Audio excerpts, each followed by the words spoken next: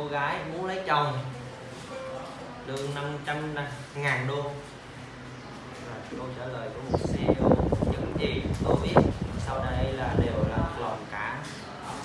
Tôi ở tuổi 25 tôi rất đẹp. Tôi có một phong cách và thẩm mỹ cao. Tôi muốn cưới một anh chàng có một có mức lương thu nhập đến 500 ngàn đô.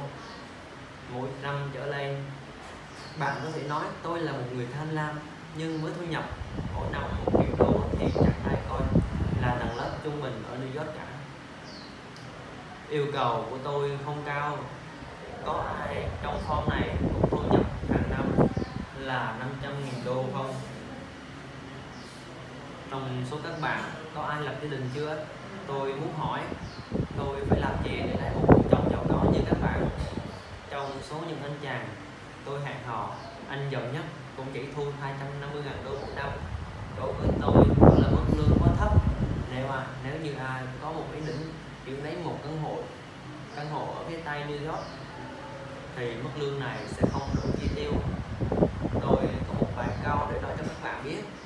Những anh chàng nhà giàu thường đi lui đi tới những điểm làm ơn, liệt kê ra những điểm đó quán bar nhà hàng và phòng tập thể dục.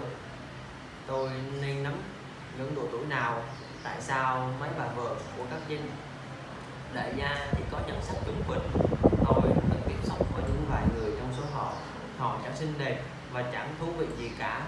Nhưng tại sao họ lại cứ được những ông chồng giàu có đến thế các bạn dựa vào những mục tiêu để làm trọn vợ và những người đã đã có thể làm bạn gái của các bạn mà thôi. Mục tiêu của tôi bây giờ là lấy chồng. Có một ông nọ sau đây trả lời thẳng thắn của một CEO của tập đoàn lớn. Ông nói, tôi đã đọc một bài viết của bạn và cảm thấy rất thích thú tôi đoán là có rất nhiều cô gái cũng có một câu hỏi như bạn xin cho phép tôi được phân tích tình huống của bạn với một tư cách là một nhà đầu tư chuyên nghiệp. Trước hết, mức thu nhập của tôi là hơn 5.000 đô trên một năm, đáp ứng với được nhu cầu của bạn. Vì thế, hy vọng mọi người không nghĩ rằng tôi đang quá lãng quân phí thời gian ở đây. Đứng ở dưới góc độ một doanh nhân tôi nghĩ cưới bạn quả là một quyết định thiếu sáng suốt. Câu trả lời rất đơn giản, hãy tôi giải thích cho bạn hiểu gạt qua những hình tiết linh tinh khác thì rõ ràng bạn đang là cố gắng để trao đổi nhân sắc lấy tiền. Có nghĩa là anh có nhân sắc và B có tiền để mua nó, mua nó công bằng là sản phẩm tuy nhiên vấn đề mấu chốt ở đây là nhân sắc có thể phai tàn theo năm tháng nhưng tiền thì đầu tư thì không như vậy. Thực tế của Phạm là thu nhập của tôi đang dần dần đi qua hàng tháng hàng năm còn bạn thì không thể ngày càng ngày càng đẹp hơn được vì thế nếu xét dưới góc độ kinh tế mà nói, tôi có một tài sản luôn luôn tạo ra giá trị tăng lên, còn bạn chỉ có một tài sản là hao mòn. Hơn những hơn nữa, không phải hao mòn bình thường mà hao mòn theo cấp độ số nhân nếu có một người tài sản duy trì nhất của bạn thì giá trị của bạn sẽ giảm nhiều.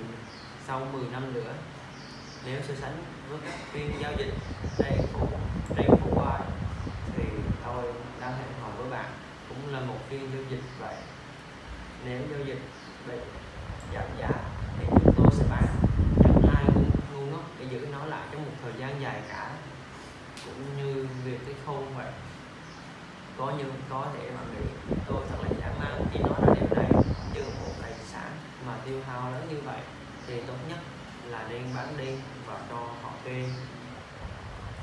Bạn cần hiểu rằng bất kỳ một gã đàn ông nào có mức thu nhập 500 ngàn đô mỗi năm đều không phải là những lạ gã ngu. Chúng tôi chỉ hẹn hò với những bạn. Nhưng chúng tôi sẽ không hứa bạn đủ khuyên bạn hãy quay chuyện lấy chồng giàu đi. Thay vì đó, hãy tự kiếm cho mình khoản thu nhập đến ngàn đô mỗi năm để trở, thành đại gia. Điều này sẽ có cơ hội thành công so với nhiều người càng giàu và ngu đấy. Và câu chuyện cô gái lấy chồng năm ngàn đô và một câu nói của một giám đốc cộng đồng lớn. Nói cho cô gái ta hiểu rằng không được